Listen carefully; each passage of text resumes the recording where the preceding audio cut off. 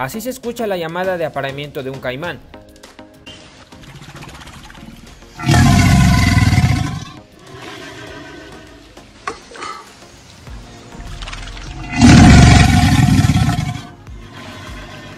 Las burbujas que se ven en el agua son producidas por hacer vibrar sus pulmones.